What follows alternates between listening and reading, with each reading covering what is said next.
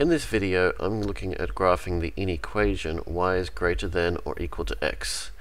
This means that I'm looking at graphing a linear graph with an area shaded that represents all the possibilities where y is greater than or equal to x.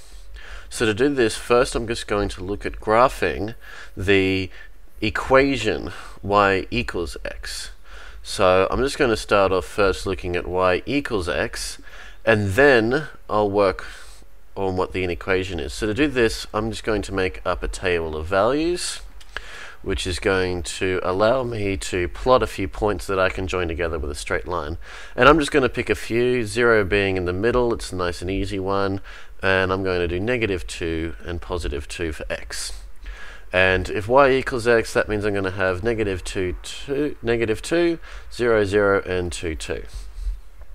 So now if I draw up a set of axes that I can use to plot my points on, so I'm going to have my x-axis and I'm going to have my y-axis.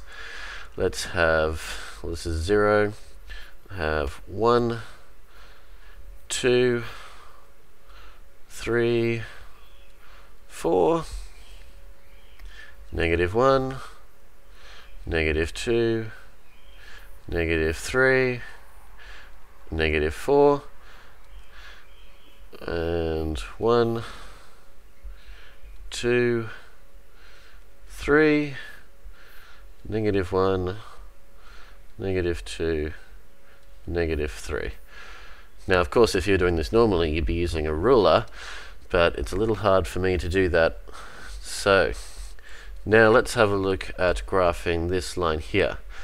So we have the point negative 2, negative 2, which is about here. We have the point 0, 0, which is here. And we have the point 2, 2, which is here. Now, I want to join these together with a straight line, but whether I want a solid line or a dotted line or a dashed line depends on what inequality I have. Because I have an greater than and equals to, I want a solid line.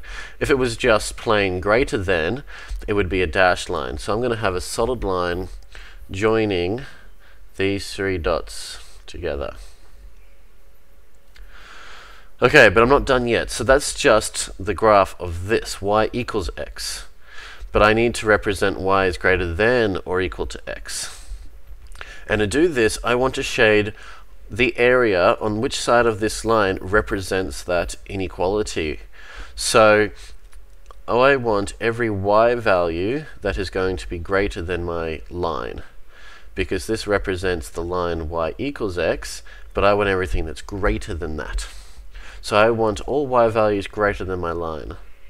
So I want to shade this upper area here. So I'm going to have this area here shaded. And that's basically it. That's the representation of y is greater than or equal to x.